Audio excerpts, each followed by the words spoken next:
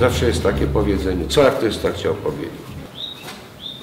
Im bardziej jest to sprecyzowane e, w wypowiedzi, to nie trzeba pytać, co artysta chciał powiedzieć. Jest to zaskoczenie. Wychodzisz na polanę i nagle widzisz taki obiekt. Na przykład czołg wbity na widelec wielkości 7 metrów. Jest to być może bajka, ale jest to przenośnia. Ludzie, którzy myślą, to wtedy wiedzą o co chodzi. No, zajmowałem się i zajmuję nadal malarstwem, rysunkiem, e, obiektami, rzeźbą. Kręciłem też, też filmy i fotografią się też zajmowałem. E, obecnie raczej kieruję się w stronę obiektów, e, które chcę stawiać. Są to obiekty poetyckie z przenośnią.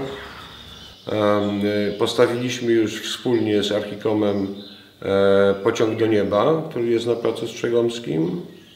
Znajdujemy się w tej chwili w sali bilardowej w klubie mieszkańca, gdzie na ścianie namalowałem latającego Holendra, który e, e, leci powolutku, zaczyna lądować w tym miejscu.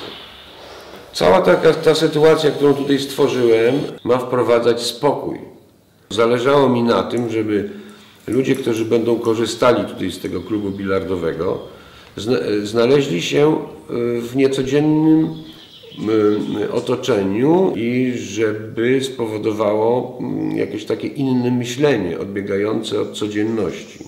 Ja po prostu mam taką zdolność odtwarzania rzeczywistości, czyli po prostu nie, mogę stworzyć obraz na płaski, na płótnie czy też na papierze e, odtwarzający, już w głowie to mam po prostu, odtwarzaj, odtwarzający materię.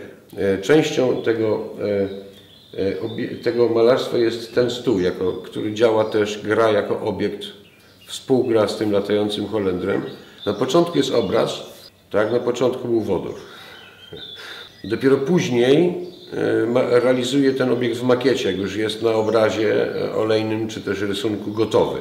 Do tego obiektu dołączyłem, do, dołączyłem urządzenie z głośniczkami, które daje y, dźwięk lasu. Można y, za pomocą tych obiektów, które stawiam, wyrazić myśl i wyrażam to myśl na temat istnienia. Tak sobie po prostu to wymyśliłem.